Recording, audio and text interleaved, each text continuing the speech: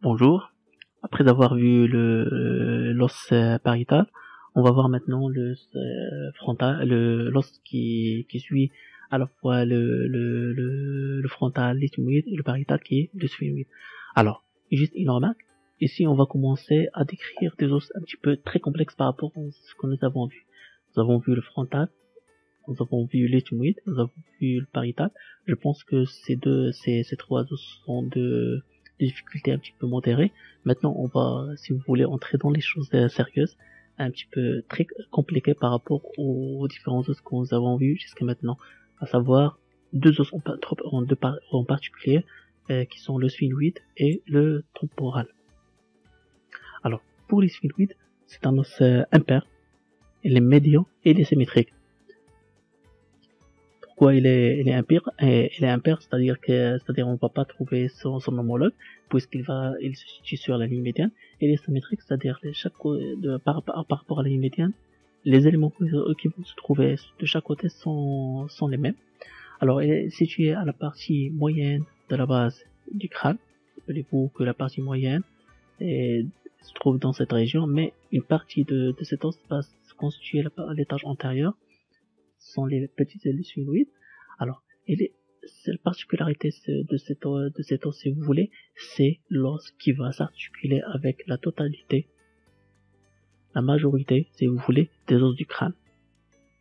Il a une, une, une importance euh, primordiale dans la constitution à la fois de la base et de, et de la voûte. On va voir qu'il a une particularité, même des organes qu'il possède, euh, qu'il contient, à savoir que ça va la, la pituitaire ou bien euh, les, nerfs euh, ophtalmiques.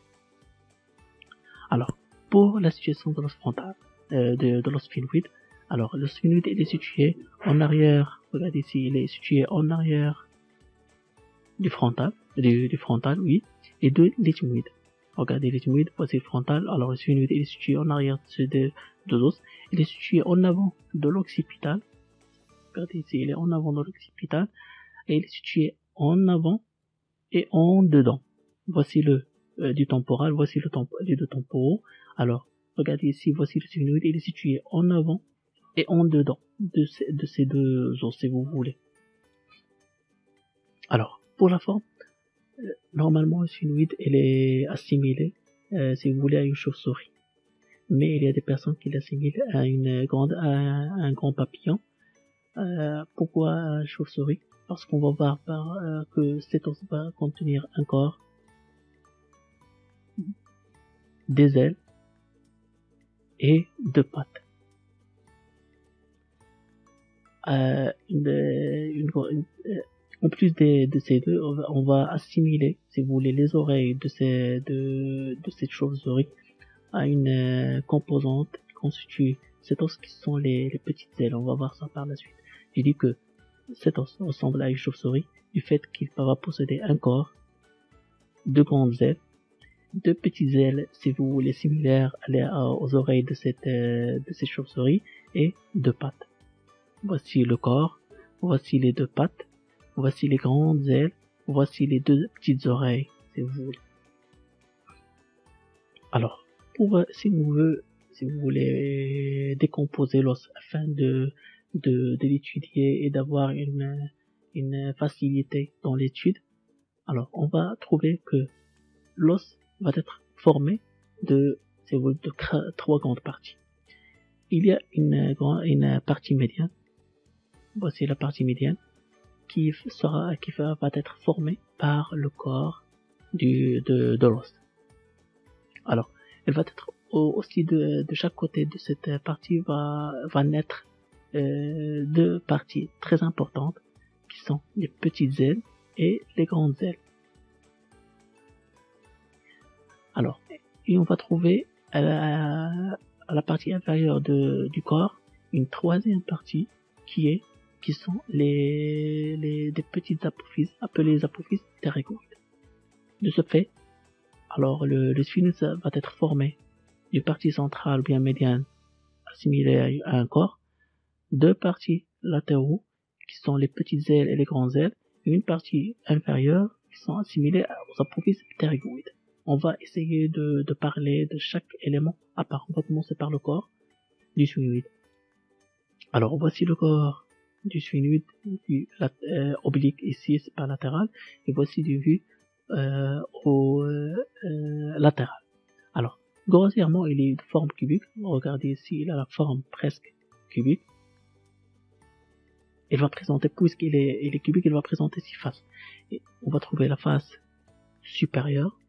C'est jusqu'ici c'est la face supérieure. C'est pas seulement cette, cette face de ce, de ce point jusqu'à ce point, c'est la face supérieure. On va trouver la face inférieure, on va trouver la face antérieure et la face postérieure. Et on va trouver les deux faces latérales qui ne sont pas ici apparentes, mais dans une vue presque oblique, on va trouver les faces latérales. On va essayer de décrire chaque partie. Alors, euh, juste une remarque, la plus importante partie, c'est la partie supérieure. La face supérieure va contenir des éléments très importants qui contiennent des éléments très importants à leur, à leur tour. Alors, je vais commencer par la face supérieure, appelée la face endocrinienne. Euh, alors, elle va présenter d'avant en arrière de, un élément appelé le gigome sphénoïdal. C'est une surface euh, quadrilatère qui fait partie à l'étage antérieur de la base Rappelez-vous que les petites ailes des sphénoïdes appartiennent aux euh, les petites ailes du sphénoïde ainsi qu'une face du corps va appartenir à l'étage antérieur euh, de la base du crâne. Alors, cette, euh, cette partie de, du, du corps va s'appeler le jugum sphénoïdal. Alors, sur, ce jugum sphénoïdal, sera, on va trouver sur la ligne médiane une crête antéro-postérieure qui sépare deux gouttières olfactives. Alors, voici le jugum sphénoïdal, c'est cette partie. Voici les petites ailes du sphénoïde. Le jugum sphénoïdal, c'est seulement cette partie. On va trouver sur cette partie une crête mousse d'avant en arrière bien antéro-postérieur. Voici la crête. De chaque côté de la crête, on va trouver deux gouttières olfactives. Alors, rappelez-vous que lorsque le sphénoïde va s'articuler avec le frontal et l'éthymoïde, alors cette partie va répondre euh, à l'éthymoïde.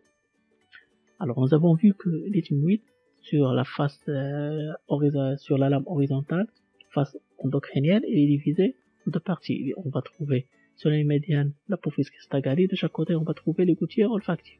Alors ces gouttières olfactives ne vont que euh, prolonger les gouttières olfactives qui se trouvent sur l'éthymoïde. Est-ce que c'est clair? Alors, il dit que la face euh, endocrinienne ou bien supérieure frontale sera divisée euh, en une partie antérieure appelée jugum sphénoïdal. Cette, ce jugum il sera divisé par une crête en deux parties, donnant naissance à deux gouttières olfactives de chaque côté. Alors, en arrière, alors ces éléments sont classés d'avant en arrière. Alors en arrière du jugum sphénoïdal, on va trouver le limbus sphénoïdalis. C'est une petite crête, plus ou moins si vous voulez marquer transversal, limitant en arrière le jugum. Alors, voici le jugum sphénoïdal, voici le limbus sphénoïdalis, une crête. Regardez ici, voici la crête. Bien le jugum, le limbus sphénoïdalis, une crête qui limite en arrière le jugum sphénoïdal.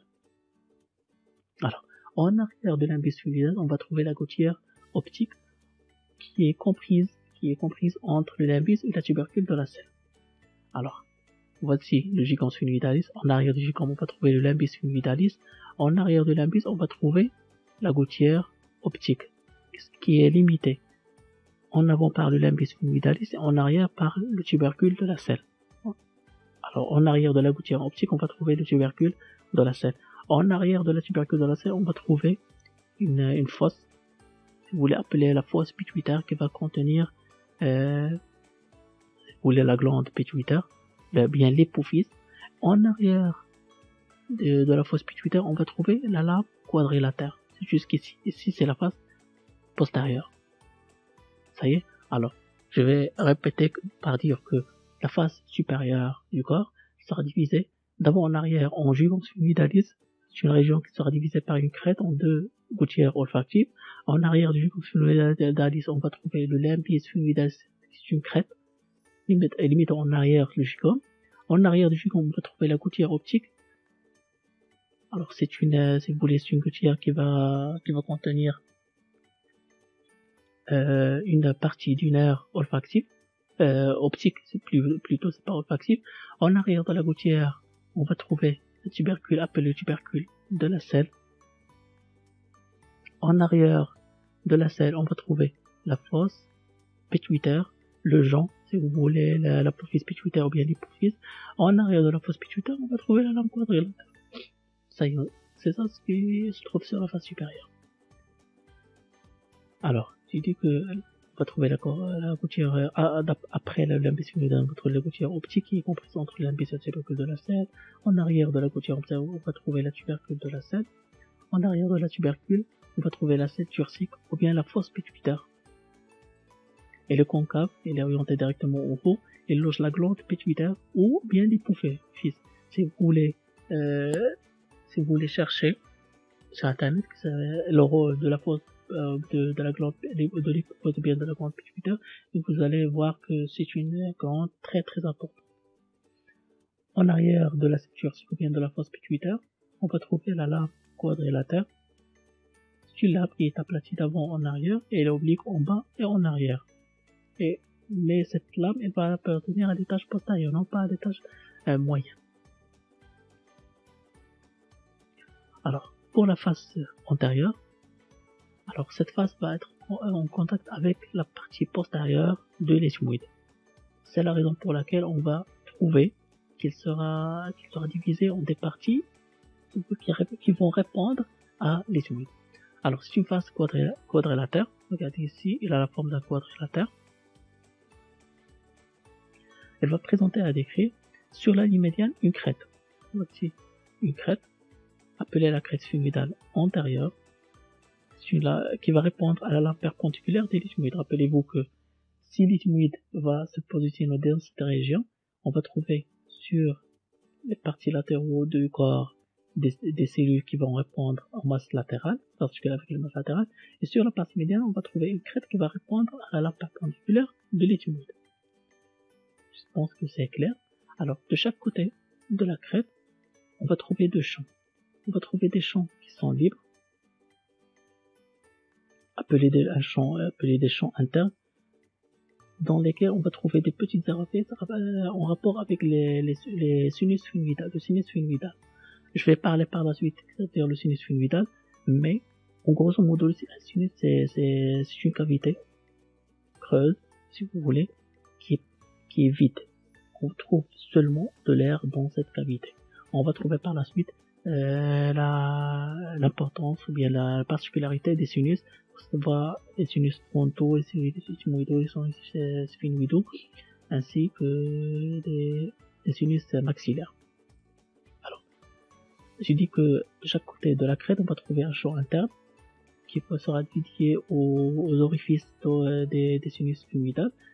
Vers la partie externe, on va trouver, voici la partie externe, on va trouver des demi-cellules qui répondent à la face postérieure des masses latérales. Rappelez-vous que la masse, la masse latérale sont vers euh, les extrémités ou bien les faces, euh, que ce soit postérieures, antérieures ou bien supérieures, inférieures, où on, trouve des petites cellules qui répondent à des, demi-cellules, qui répondent à des, demi-cellules sur des os euh, qui vont s'articuler avec cet os.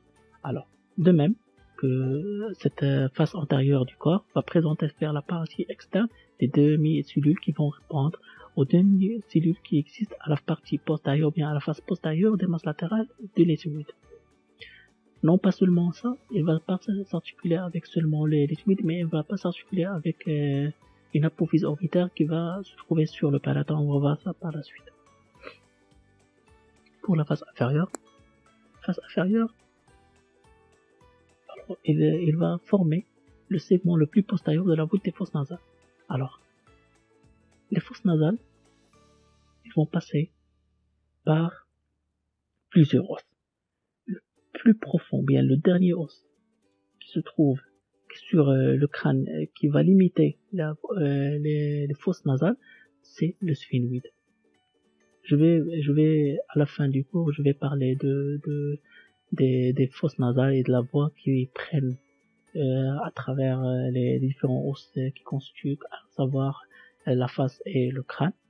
Alors, j'ai dit que cette, cette face inférieure du, du, du sphénoïde va constituer la voûte des fosses nasales, la voûte la plus postérieure. Alors, elle va présenter sur la ligne médiane une crête antéro-postérieure. C'est comme le sphénoïdalis, euh, mais ici la crête va s'étendre sur toute la, la, face inférieure du, de l'os et non pas sur une partie antérieure. Alors, il dit qu'elle va constituer sur la ligne médiane une crête antéro-postérieure, dite crête sphénoïdale, qui va se terminer, euh, qui va, si vous voulez plutôt se, se, euh, se relever en, en avant voici l'avant de l'os, voici la, face, euh, l'arrière de l'os. Alors en avant, on va trouver que cette, euh, cette crête va prendre un petit peu une forme plus accrue. Il va être un petit peu soulevé euh, pour former le, bec sphénoïdal. Regardez ici que cette, cette partie de, la crête est un petit peu très apparente, très élevée, qui va répondre. Alors l'ensemble de ces crêtes va s'articuler avec le vomère en bas on va trouver que le vomer va s'articuler en bas, euh, en la partie inférieure du phénoïde. Alors, le champ externe, aussi le champ interne, et si vous voulez occupé par la crête phénoïdale, le champ externe va présenter seulement l'implantation de deux apophyses, qui ne sont que les apophyses ptérygoïdes. Voici l'apophyse ptérygoïde, voici la deuxième apophyse ptérygoïde. Alors, la face externe va seulement être euh, dédiée euh, aux racines, si vous voulez, aux racines euh, de, des, deux apophyses ptérygoïdes. Est-ce que c'est clair? Je vais répéter que que la face inférieure va être divisée en deux grands champs, qui est le champ interne, qui va dédié à la crête sphénoïdale, qui va se terminer en avant par le bec sphénoïdien. Alors les deux parties latérales euh, vont être dédiées aux racines de l'apophyse ptérygoïde. Pour la face postérieure, il n'y a pas de grand chose à dire. C'est une face quadrilatère. Regardez ici, une face quadrilatère. Elle va être soudée au corps de l'occipital. Voici, voici, regardez ici, voici la lame, la lame, euh, euh, le dos de la turcique, si vous voulez. Voici le dos de la selle turcique, ou bien la lame quadrilatérale. J'ai oublié son nom. Euh, la lame quadrilatère, oui. excuse. Ah, voici la lame quadrilatère ou bien le dos de la selle turcique, on, l'appelle soit la lame quadrilatère ou, bien le dos de la selle turcique. En arrière de cette partie, on va trouver la face postérieure de l'os qui est quadrilatère et qui va répondre au corps de l'occipital. Pour les faces latérales.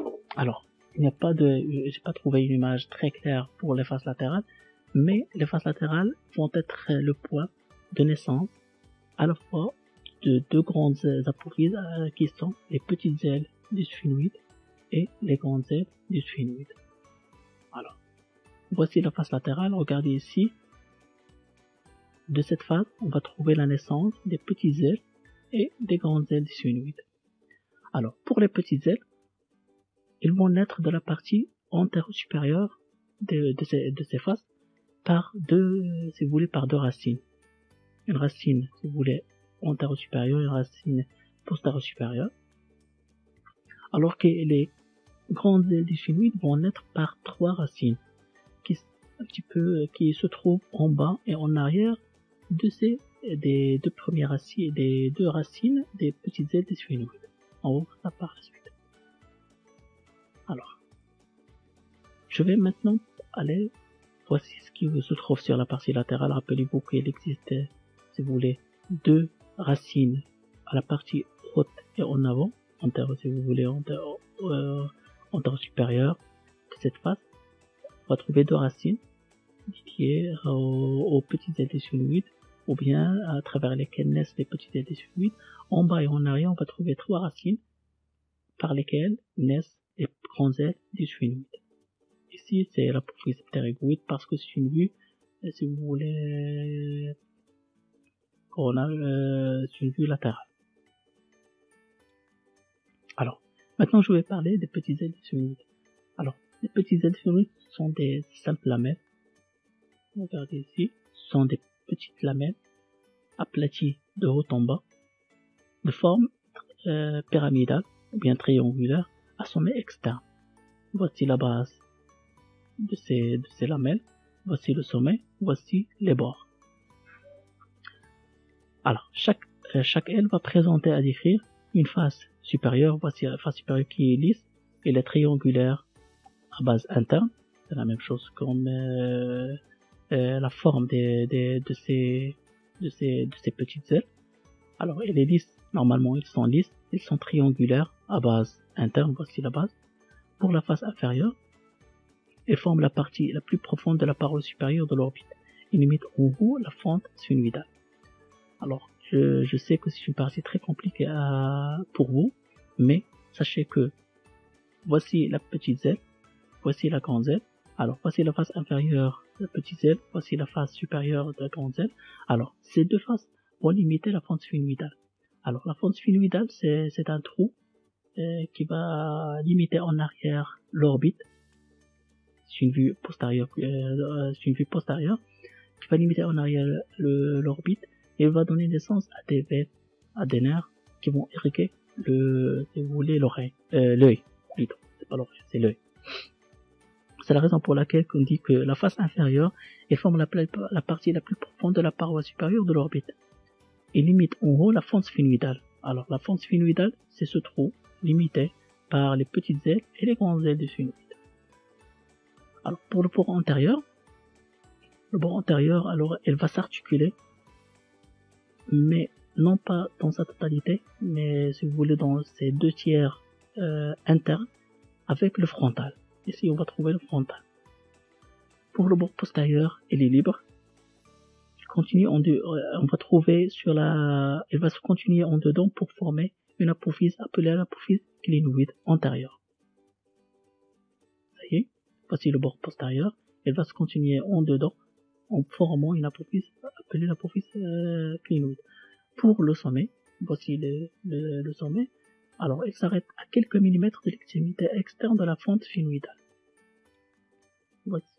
Mais c'est pas une image euh, très claire. On va trouver que le la fente sphénoïdale, c'est pas seulement cette région. On va va se continuer jusqu'ici. Alors, ce, sommet va, s'arrêter juste après euh, la terminaison ou bien la, fin de la fente sphénoïdale. Et alors rappelez-vous que c'est libre et ne va pas s'articuler, que ce soit avec le, le, frontal, soit avec le grand Il n'est pas articulable. Alors, je vais, je vais répéter ce que j'ai dit lorsque j'ai parlé de, de, de la des faces latérales. J'ai dit que les petites ailes naissent par deux racines une supérieure à la partie antéro-supérieure de, de, la face latérale. Alors ces deux racines, on, on va trouver une supérieure et une postéro-inférieure. Voici le supérieur, voici l'antéro-inférieur. Tâche euh, du corps sphénoïde au-dessus et en arrière de la précédente. Alors, ces deux racines s'unissent en formant la paroi externe du canal optique. Alors, euh, je vais revenir, oui. Normalement, voici la racine antérieure, euh, antérieure supérieure, voici la racine. Normalement, voici la racine inférieure. C'est ça la position de, ces deux racines. Alors, ces deux racines vont donner naissance à deux apophyses qui vont se rencontrer en formant la paroi la plus externe du, canal optique. Alors, Rappelez-vous, lorsque nous avons vu la, partie supérieure du corps, nous avons dit qu'il est composé de sphénoïdalien ou bien sphénoïdalis, l'imbus. On va trouver la gouttière optique. Alors la gouttière optique, c'est cette partie. Elle va contenir une partie, si vous voulez, du, nerf optique. Voici, qui va se bifurquer, bifurquer pour aller vers les orbites.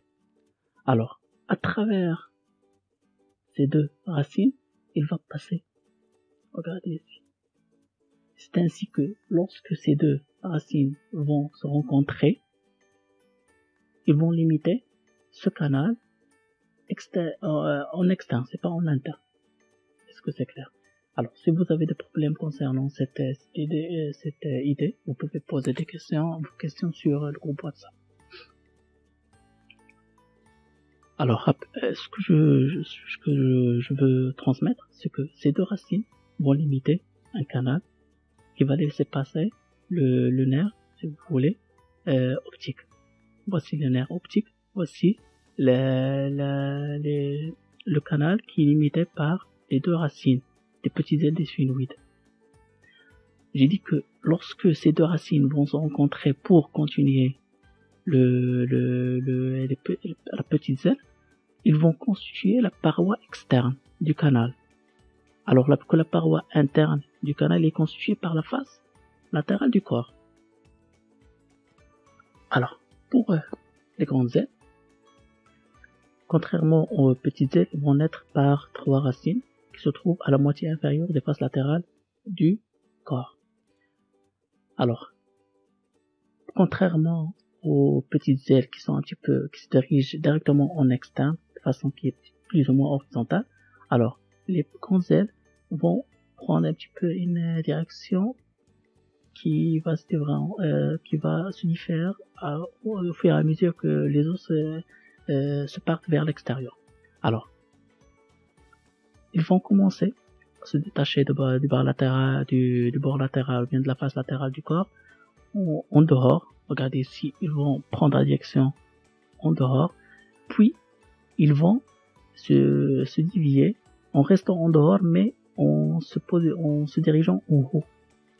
Alors, ils vont se diriger dans cette partie lorsqu'ils vont naître de la face latérale en dehors, mais au fur et à mesure qu'ils euh, qu'ils s'éloignent de cette face, ils vont se diriger en haut, en restant, euh, en restant dans la même direction qui est euh, en dehors.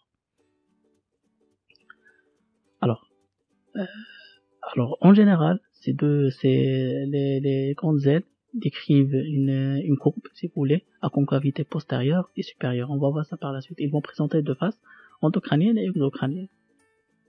Alors, voici la concavité, puisqu'ils vont prendre cette forme vont présenter une concavité en haut et en arrière, postérieur et en haut. Alors, pour la face endocrânienne, voici la face endocrânienne. Ça, la face endocrânienne. Alors, elle va regarder en haut et en arrière. Euh, euh,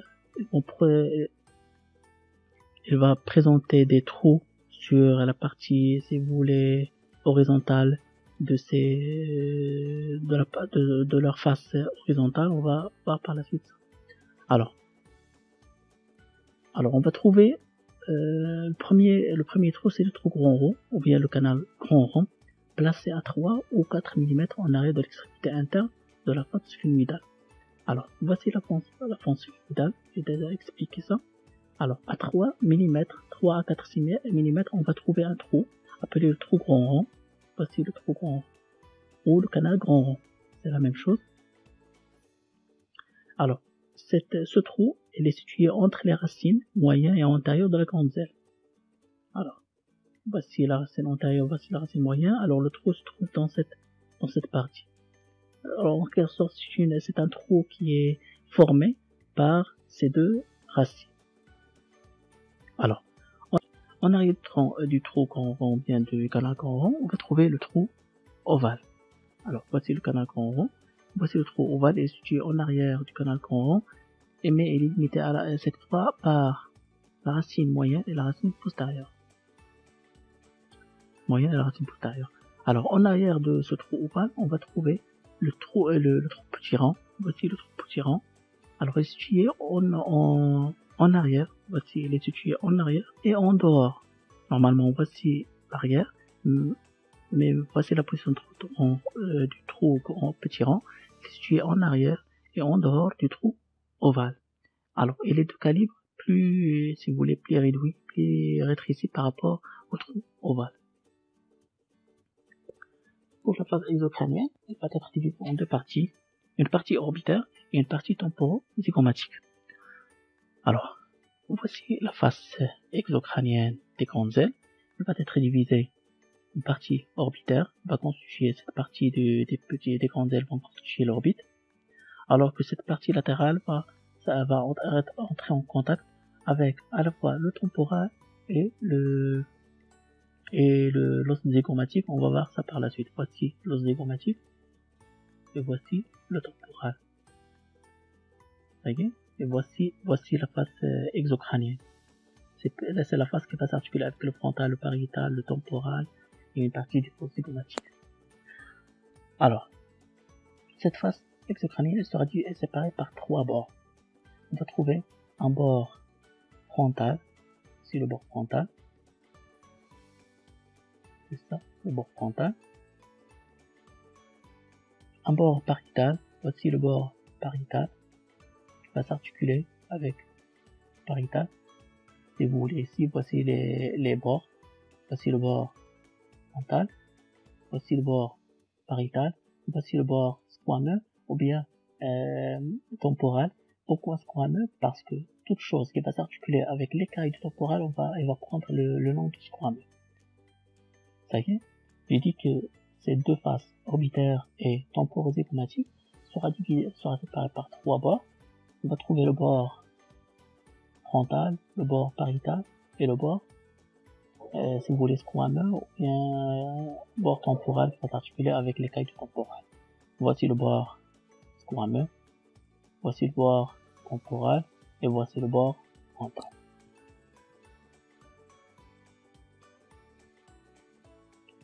Alors, maintenant je vais parler de, la force sphénoïdale. Alors, j'ai dit que voici une vue antérieure du, si vous voulez, de, l'orbite. On voit bien, on voit, bien ici qu'il existe un trou. Alors, voici les petites ailes du sphénoïde, voici les grandes ailes du sphénoïde. Alors, la force sphénoïdale, c'est un trou, si vous voulez, c'est un orifice qui sera limité par à la fois les petites ailes du sphénoïde et les grandes ailes du sphénoïde. Et on va lui donner le nom de fente sphénoïdale ou bien de fissure orbitaire On va voir, par la suite qu'il va trouver, euh, qu'on va trouver une fissure, fissure orbitaire euh, inférieure qui est limitée par les grandes ailes sphénoïde et le, le malaire ou bien.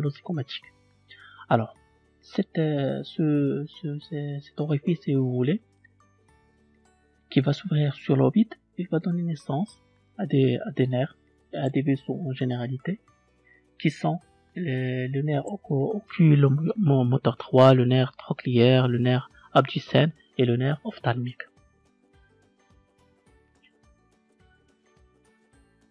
Alors, la dernière partie qui, qui si vous voulez, que présente le, le sphénoïde sont les apophyses ptérygoïdes.